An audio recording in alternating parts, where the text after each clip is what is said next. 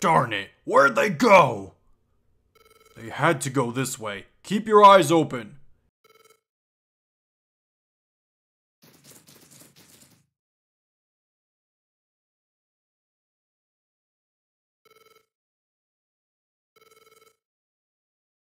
I think they're gone.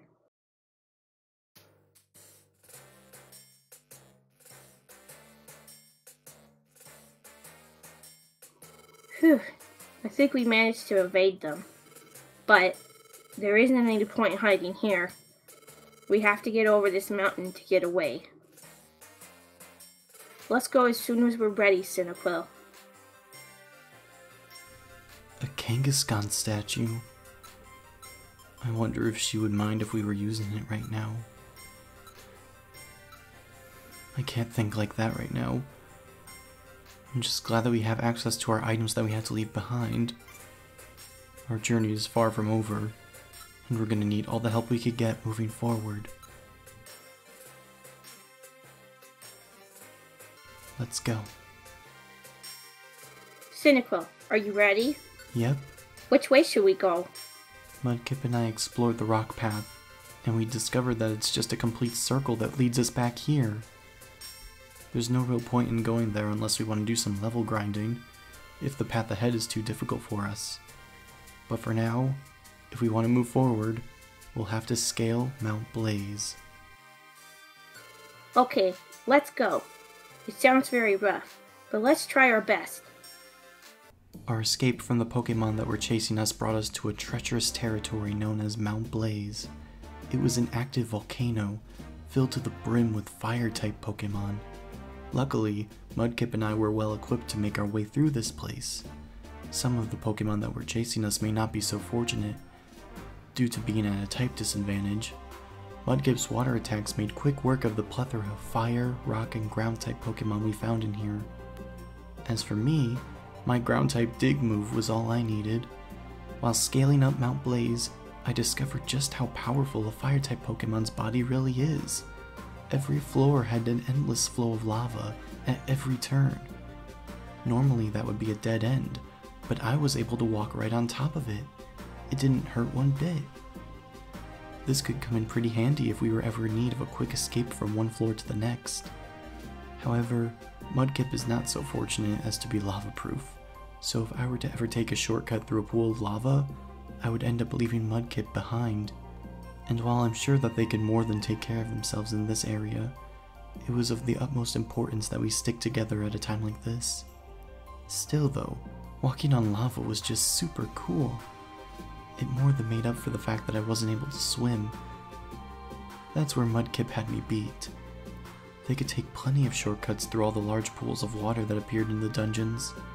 Of course, I was never able to go with them, so we rarely ever used this tactic. But still, it just goes to show that we're all capable of different things. We all have our own unique strengths and weaknesses. And not one Pokemon can do it all on their own. Unless, of course, you're a flying type Pokemon, or a Pokemon with the ability Levitate, then you could just fly over all the water and lava. But seriously, we really lucked out to have been well equipped for this dungeon. If I had been brought into this world as a grass type Pokemon, we may not be so fortunate. And who knows what lies beyond this area? Our search for the truth is far from over, so it's best to make the most of this opportunity and just keep moving forward.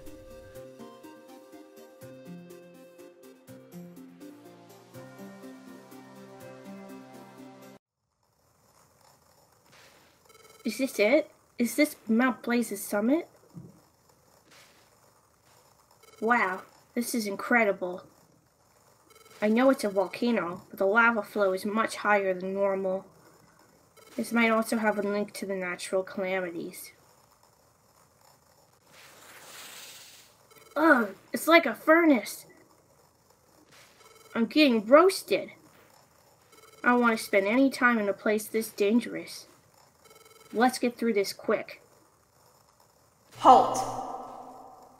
Huh? What? It suddenly turned dark. I can hear the mountain screams.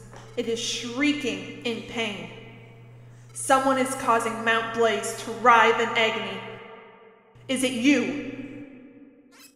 Huh? You've got it wrong. It's not us. We just happen to be passing through here. Who are you anyway? Show yourself.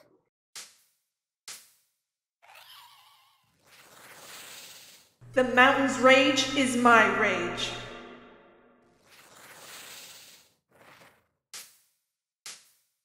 I am Moltres, the warrior of fire am I.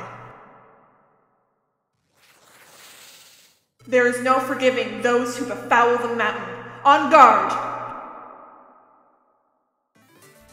Before we even had a chance to catch our breath at the top of the mountain, we were met face to face with Moltres, the legendary fire type Pokemon who guarded over Mount Blaze. This Pokemon was not going to be an easy opponent. Just like Zapdos, it was a fiercely strong Pokemon in every way imaginable. We were going to have to rely on our cunning if we wanted to beat it. Smokescreen and Gravelerocks were our best tactics, along with Mudkip's water gun. Unfortunately, because of its flying subtype, we weren't really able to take advantage of my dig move, so because of that, I mainly played on the defensive side by covering Moltres with a heavy smoke screen, while Mudkip fired away with its water gun. They were at a very low level of HP throughout the majority of the battle, but because of that, we were able to take advantage of Mudkip's special ability Torrent, an ability that increases their attack whenever they're in critical condition. And we needed every bit of strength that we had available to us at this point in time. Moltres seemed to have an even shorter temper than Zapdos. I didn't even think that was possible. We just showed up here, and just like that, they thought we were the ones responsible for the natural disasters happening around here. I could see why they might have been concerned seeing a water type Pokemon in this fire dungeon, but it can't be just because of Mudkip that all of this is happening. We had to make that clear to Moltres. We weren't of any threat to them or this place. In fact, we were the exact opposite. We were on a quest to find the truth. And there is nothing that will stop us from claiming that. Ah. I'm not done. I'm not finished yet. Wait, listen! We're not here to cause trouble. We're here only because we were chased here. You have to realize this mountain isn't the only place that's suffering. Natural calamities are occurring all over the place. We're fugitives now, so we can't do anything. But we want to help other Pokemon that are suffering from these natural disasters. Do you say that sincerely? It's true. Please believe me. If you think I'm lying, look at my eyes.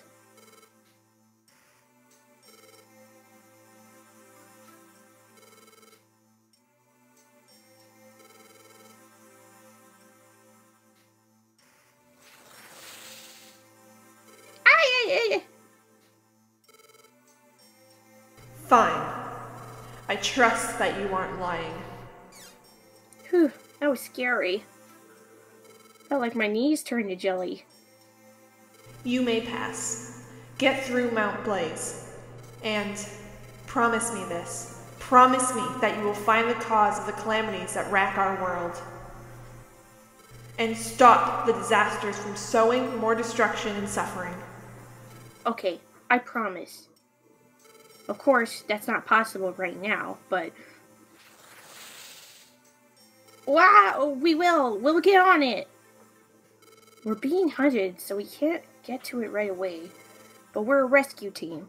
We'll investigate what's behind the natural calamities. I promise. I will hold you to that promise. You've made me believe that you will honor that promise. If you do not forget the courage you showed in facing me. Wow! Sir, is there anything else? No, I was only preparing to take off. Oh, does he need to do that? Farewell.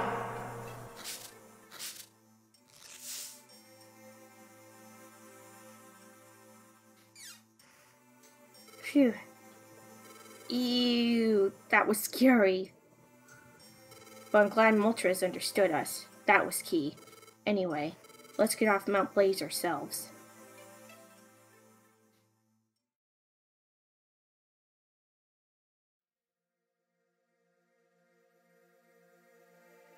Oh, oh, we sure walked a lot.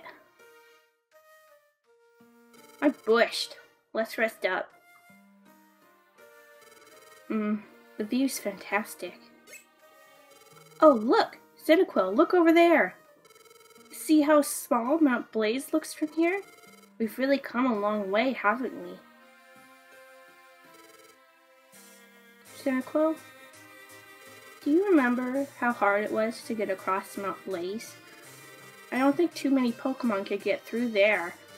And then we gave it our all to get out here. Do you know what I'm thinking? We've come so far, maybe there aren't any more Pokemon that can get to us. I wouldn't be so sure, Mudkip. There could still be others out there. Oh? There's someone else? Well, who do you mean? Hmm. Oh, I get it. There's Alakazam. You're right. Alakazam's team should be able to get here. Yep, we don't have a choice. We have to keep going. I think we need to go somewhere no one else can get to. Let's be positive and keep moving. Huh? What's the matter? Are you coming, Cyndaquil? Hmm? Huh? Am I tired? They're chasing us down. We can't afford to rest. And I told you already. I said I would go with you, Cyndaquil. Oh, come on. No need for that long face. I'm fine. Let's go, Cyndaquil. I'll go wherever you go.